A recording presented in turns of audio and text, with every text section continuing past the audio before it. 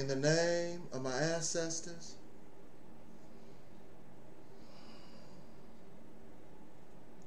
peace forever and always, and welcome to another edition of what we call the Reality's Temple on Earth Internet Ministry. I am the gatekeeper or the host of this program, known here on social media. Wherever you may find me, I am known as the mighty, mighty, mighty. Angelsnupnup7. I am your soul brother. Number one. Before we get into our topic, if you uh, fear death,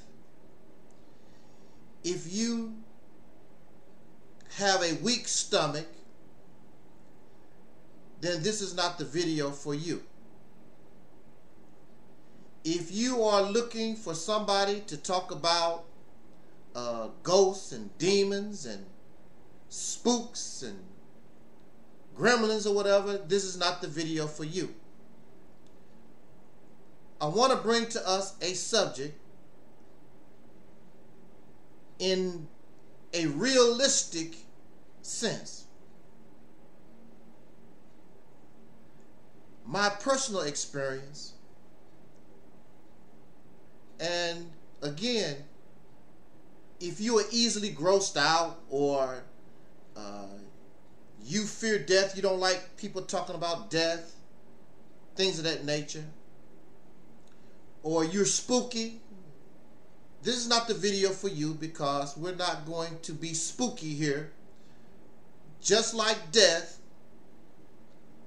or just like life, rather, death is a part of this reality that we live in. What happens in another dimension, what happens on Mars or whatever, I don't know these things. I'm going to talk about what we know. We're not going to talk about what we believe. We're going to talk about what we know. Not what we believe we know.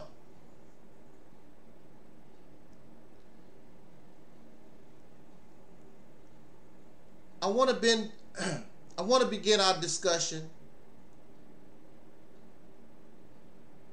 by talking about my diagnosis with cancer in 2020. That would be like four years ago. It was not my intent to bring my personal uh, health issues, my personal affairs to the public, but unfortunately, there were people who turned out to be my enemies who thought by revealing my cancer diagnosis, it would help them in their slander and they're trying to destroy this ministry, what we call the Reality's Temple on earth by destroying the messenger because the ideology or the conclusions reached by the ministry they cannot debunk. They cannot debate. So let us try to destroy the messenger and perhaps we can get some headway so that the masses of the people can stay in a spooky condition. So the masses of the people, we can keep them in 1930, keep them in 5000 BC, keep them up out of this reality, keep them in some fabricated fantasy place that you make up in your mind, but the reality that we live and breathe we ignore. But the sad thing about it is, sooner or later, you're going to have to deal with reality. That's why many of you don't like death. Because death is going to check you. You can believe anything you want, but when death comes, reality sets in. And there's no debate, there's no argument. That's why you fear. That's why you don't like to talk about death. You can't talk about your afterlife because you ain't never been there. You can't talk about life after death. You can't talk about what happened in Mars. You can't happen in the sixth dimension. You can only talk about what you believe, what you dreamed about. Images that your brain created, but you ain't never been there. You can't prove you've been there. I was diagnosed with cancer in 2020. Again, if you are easily grossed out, I'm going to talk about this because it's the reality of it. That's what happened. I'm not ashamed, it's what happened. So, I'm taking a shower and I start to feel faint. And when we take a shower, we, we're usually butt naked, right? okay, so I'm butt naked in the shower and I'm starting to feel faint. But before I thought I would lose my consciousness, I quickly turned off the water and I quickly dropped and got out of that out of the shower and laid on my floor. Now before I got out of the shower, my body went through changes. And I began to defecate on myself and urinate on myself. There's nothing I could do about it. I felt so weak, I felt I was getting ready to black out. I was able to get out of the shower and laid on my floor. And hours later, I woke up, cleaned myself up, but I felt real, I still felt real, real nauseous. I felt real bad. And family members were worried because I didn't want to eat. I didn't want to drink. I didn't want to do nothing. I just wanted to lay there and sleep and sleep. Now, this is one of the signs of death is when you want to sleep and you just sleep.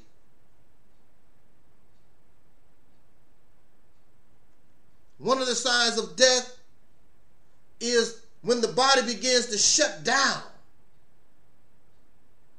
You sleep more and you don't want to eat, you don't want to drink. There's no need to because you're dying. And all your body functions are slowing down. So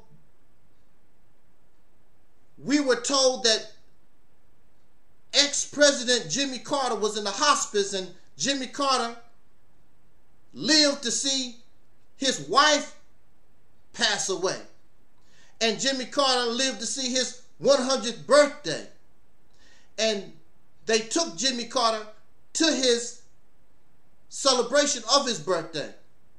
But he was in hospice when you place a person in hospice, that's the countdown. It has been it has been determined that you're dying. And when a person begins to die, you don't want to eat.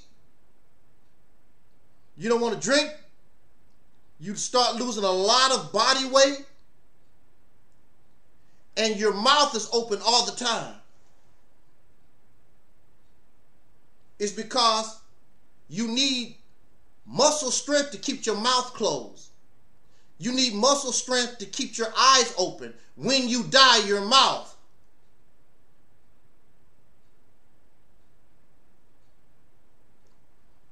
Because you need those muscles. Those muscles will keep your eyes closed, keep your mouth closed. And so I'm, I cannot say that I was dying. But I know how it feels to just want to sleep, sleep. I know how it feels. And then during the, uh, it's something called the death rattle. When your breathing starts slowing down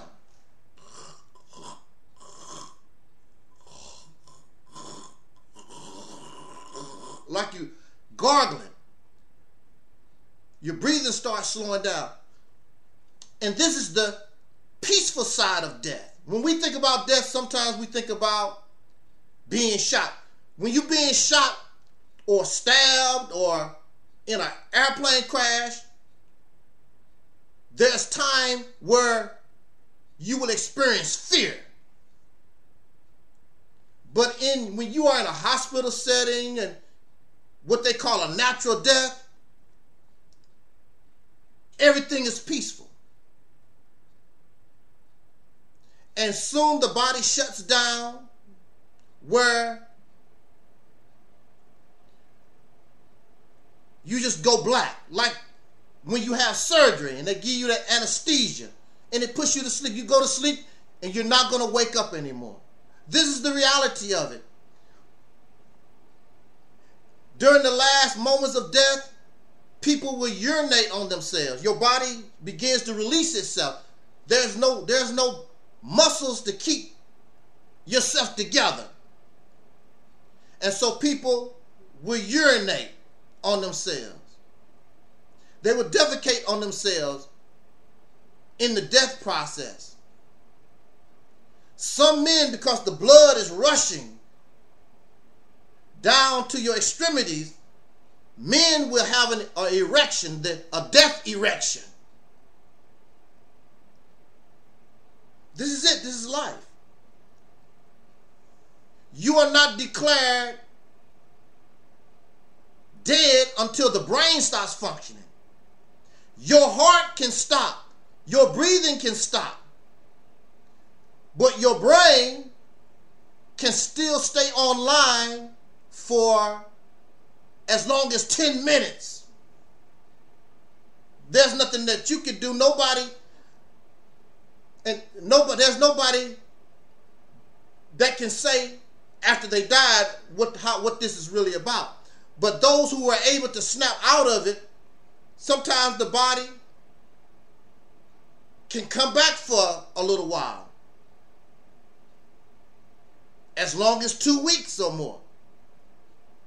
And this is where the spookiness come in. The, the near-death experience, your brain is still online as you're dying. And since your brain is still online, you will have those who are able to come back, not from death, but get back online. For some reason, you get back online. So they will report seeing dead relatives, you know, relatives that have already passed. You you see your life pass before you, these different images, these different these different visions. What it reminds me of, like the old television sets. Remember the old television sets? And when you cut those television sets off, remember, it'll go off and the screen gets smaller and smaller until it turns this little bitty light. Head to the everything is dark except that little tiny, that little tiny speck of light until the television goes off. This is our reality. And so we fear these things. Instead of fear, we should learn the process of death. So we won't be scared. So we won't we can understand when a loved one is dying, you don't get scared when you see them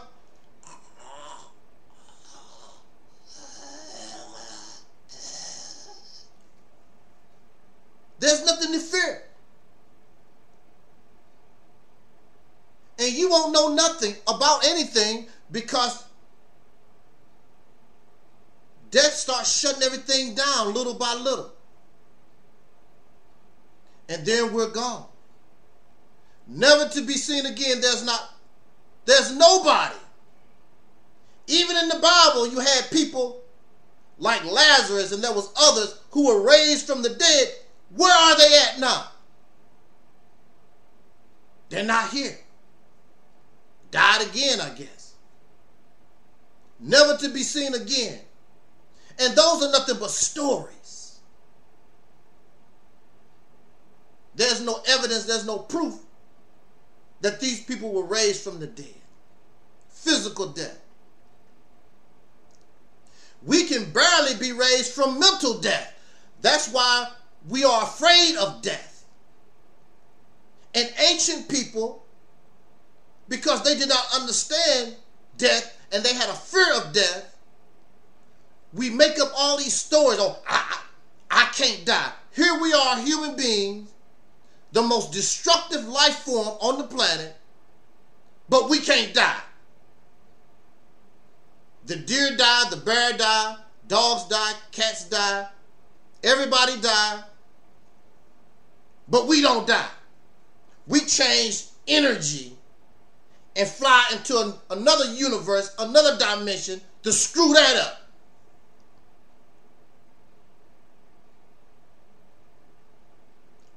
Is going to allow you, somebody, to come from this place where you screwed up to go somewhere else so you can screw that up? And isn't it amazing? The next dimension, the next universe is just like the earth. There's no difference.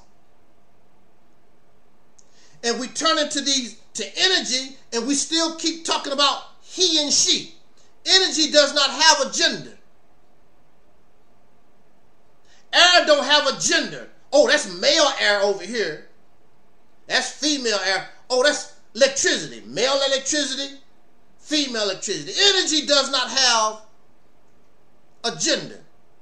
Spirits don't have a, a gender. So why do we keep saying he or she? That's because we're still connected to life. And you never seen the spirit to say whether it's a he or she. And it's funny, whenever we do see these spirits, these ghosts, they wearing clothes. They look just like the human being that died. Spirits don't need clothes. There's no Walmart in the spirit world. There's no Kmart in the spirit world. There's no Tommy Hilfiger in the spirit world. All this stuff is make believe, fantasy things that we want to believe because of our fear and our ignorance of death. I would suggest to us, I don't fear death because it's going to happen. There's nothing you can do about it. There's nothing you can do can avoid it. I don't care how healthy you are, you're going to meet death. I don't care how rich you are, you're going to meet death. How young you are, you're going to meet death. I don't care about that. So why don't we stop tripping off these fairy tale, supernatural, silly, childish stories from ancient people? This is 2024. We know better. And understand and accept life for what it is. And enjoy the life while we got. That's why we have no respect for because I'm gonna I'm gonna live somewhere else. That's why we don't do nothing with the life that we have. Because I'm going to die, I'm going to live again somewhere. That's a lie. We'll never see you again.